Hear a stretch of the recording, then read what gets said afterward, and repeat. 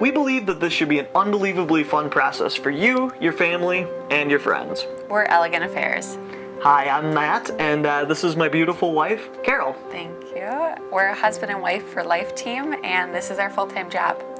You know, we're in the business of bringing families together. That's what we do. Which means that working with you isn't a transaction, it's a relationship.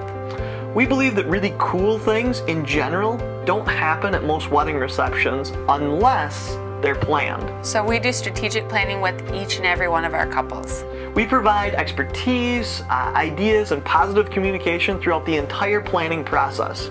We believe that brides and grooms and their families should be there to enjoy the wedding celebration instead of work it.